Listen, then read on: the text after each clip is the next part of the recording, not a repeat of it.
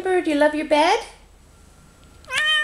Yeah. Oh, I know. It looks so comfy.